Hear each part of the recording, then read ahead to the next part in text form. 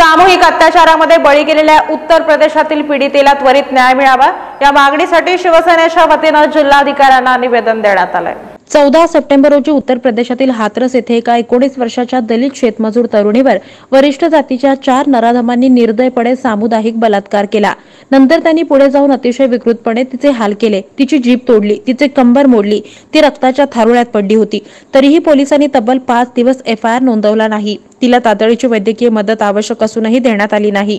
शक्य असूनही आदित्यनाथ सरकारनं तिचे प्राण वाचवण्याचा प्रयत्नही केला नाही. इतकंच नाही तर पोलिसांनी तिच्या कलेवर तिच्या कुटुंबियांना न देता इतकंच नाही तर पोलिसांनी तिचा मृतदेह तिच्या कुटुंबियांना न देता त्याची परस्परच विल्हेवाट लावली. योगी सरकारच्या कारकिर्दीत मुजोरी लोक कोणत्या थराला जाऊन पोहोचलेत? दलितांना मृत्यूनंतरही मानवी प्रतिष्ठा नाकारण्याचं अत्यंत घृणास्पद कृत्य उत्तर प्रदेश प्रशासनानं केलंय.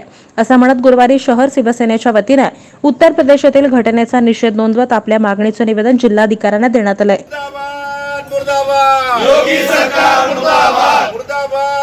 मुर्दाबाद. योगी सरकार मुर्दाबाद. दलित मुलीवर अत्याचार करणाऱ्या भाजप सरकारचा. योगी सरकार.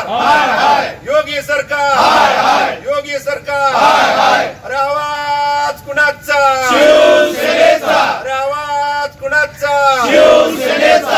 हाथरसमधील दलित शेतमजूर मुलीवरील सामुदायिक बलात्कार आणि तिची हत्या हे भाजपच्या कार्यकिर्दीत उत्तर प्रदेशातील कायदा आणि सुव्यवस्था किती ढासळली आहे याचेच निर्देशक आहेत अशी प्रतिक्रिया शिवसेनेचे सहसंपर्क प्रमुख पुरुषोत्तम बर्डे यांनी व्यक्त केली आहे. येथील जी दुर्दैवी घटना देशाला मान खाली घालावी घडलेली आहे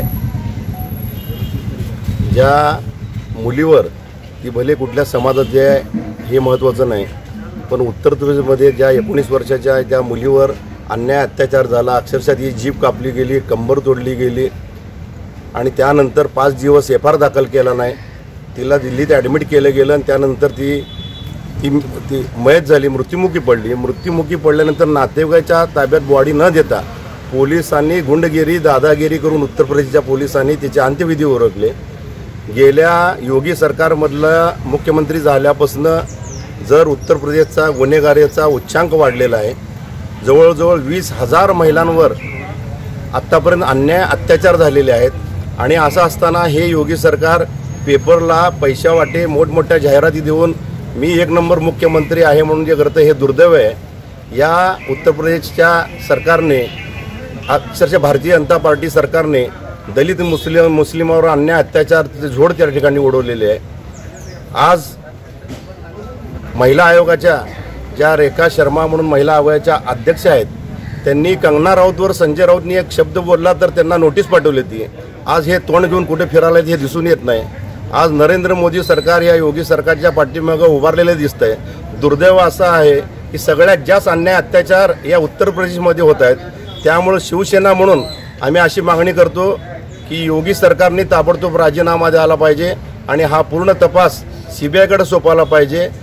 पालघरमध्ये साधूचा हत्याकांड झाल्यानंतर वास्तविक पाहता मुख्यमंत्री यो योगींनी उद्धव साहेबाला फोन केला ह्याचा काही संबंध नसताना आणि आज एवढी मोठी घटना त्या उत्तर प्रदेशमध्ये घडत असताना आज सन्मान्य उद्धवसाहेब ठाकरे आणि शिवसेना पक्ष योगी सरकारला विचारतोय की दलितांवर अन्याय अत्याचार करणारा उत्तर प्रदेशमधल्या मुख्यमंत्री योगीनाथ यांनी राज राजीनामा द्यायला पाहिजे सीबीआय चौकशी व्हायला पाहिजे अशी आमची मागणी. बलात्कारित पीडित महिलेला त्वरित न्याय मिळावा याकरिता केंद्र स्तरावर कायदा असावा शिवाय फास्ट ट्रॅक कोर्टाची व्यवस्था करावी अशी मागणी देखील यावेळी विरोधी पक्षनेते महेश कोठे यांनी केली आहे उत्तर प्रदेशमध्ये ज्या दलित महिलेवर अत्याचार झाला आणि योगी सरकारने त्याला पाठिंबी पा पाठीशी घालण्याचा जो प्रयत्न केला वास्तविक आपल्याला माहीत आहे की बलात्कार प्रकरणामध्ये सत्तेची उलटपलट झाली. काँग्रेस पक्षात सत्तेवर असताना सुद्धा अशाच पद्धतीच्या बलात्कारामुळं काँग्रेस पक्षाला पाय उतार व्हावं लागलं.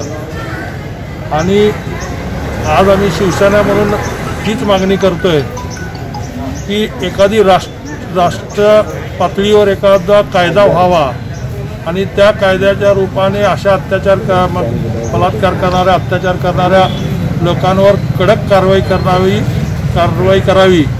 आणि देशभर एकच कायदा असावा. कुठं जरी असं घड काही घडलं तर त्या दृष्टिकोनातून त्या कायद्याच्या माध्यमातून त्यांना शिक्षा झाली पाहिजे त्यांच्यावर कारवाई झाली पाहिजे अशी मागणी शिवसेनेच्या वतीने आम्ही या ठिकाणी करण्यासाठी जमलेलो आहोत. भाजपच्या सरकारमध्ये केंद्रीय मंत्री म्हणून वावरणारे दलितांचे नेते रामदास आठवले.